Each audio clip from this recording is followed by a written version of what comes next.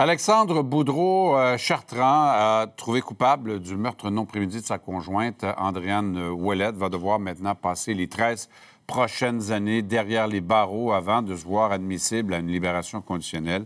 Elisabeth, donc la mère de la victime, se dit satisfaite de la décision et de la sanction. Donc.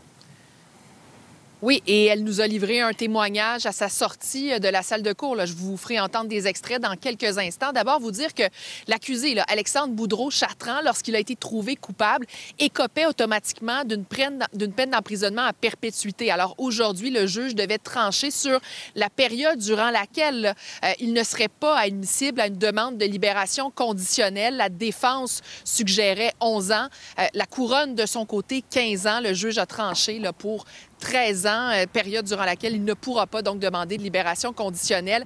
Euh, le juge a soulevé différents facteurs aggravants, la violence avec laquelle l'accusé s'en est pris à sa conjointe, euh, le contexte aussi de violence conjugale. Je vous laisse entendre donc quelques extraits de ce témoignage que la mère de la victime nous a livré à sa sortie de la salle de cours.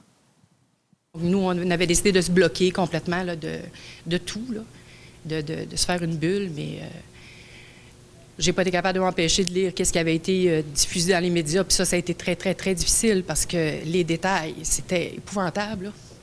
Épouvantable. Ça a été dur pour ma famille. Les enfants ont été euh, à l'abri de tout ça, par contre. Mais nous, on voit Andréane à tous les jours. Dans les yeux de ses enfants, nous, euh, elle est avec nous, Andréane, à tous les jours. On la voit, elle, est là, elle est avec nous. C'est une page qui se tourne. Euh, moi, je suis, venue ici les deux fois avec ma sœur parce que c'était les dates qui étaient très, très, très essentielles pour que je puisse représenter Andréane. Je veux juste passer à autre chose puis qu'on puisse justement là, mettre ça derrière, nous puis avancer, tout simplement, avancer avec euh, comme une épée au-dessus de nos têtes. C'est terminé. Là. Et je mentionne, Michel, en terminant, que le juge, lors des représentations sur sentence, avait souligné le courage euh, de cette femme qui, euh, lorsque sa fille euh, a été tuée, était à la retraite, a pris sous son aile depuis les cinq enfants du couple et a dû, en quelque sorte, pour s'occuper de ses enfants, mettre son deuil, oui, sur pause. Voilà. Merci beaucoup, Elisabeth.